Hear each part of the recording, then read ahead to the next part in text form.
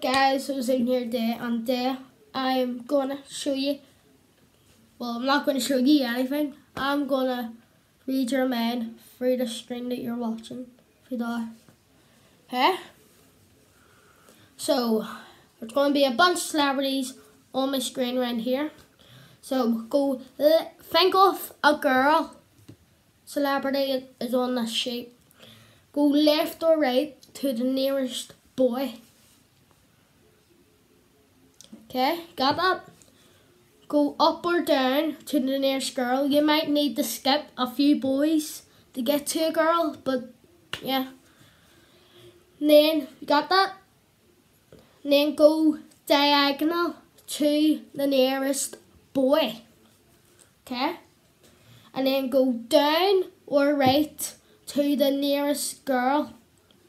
Right? So now keep on thinking of the celebrity you are on now.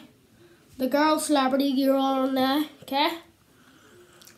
I'm gonna guess.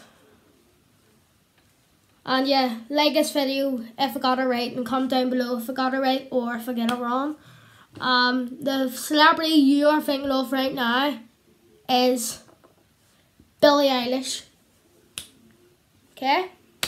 Billie Eilish. So yeah, comment down below if you got it right. Subscribe to my channel. And yeah, I'll be doing a new one in a wee second. Okay? Bye. I'm gonna cut. Okay? Boys. Boys, I'm back. Next one we do have, I'm, I'm going to guess a clothing brand from you, okay? So think of your favourite clothing brand. Okay? Count as many letters as in that name. For example, if you say Nike, then it's only four letters. Then take that number. So if it's Nike, you take four. Multiply that by 10. Got it? Then minus 6 of the answer you have now. So I would have 40 right now. So take away 6 from 40, that would, yeah. And then think of the last digit in that number that you have. Okay? And gonna put up a bunch of clothing brands here with numbers beside them. All you have to do is find the clothing brand clothing brand that um matches the number that you your last digit of that number you're remembering. Okay.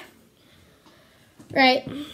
Through this screen, use are thinking of Supreme. Okay?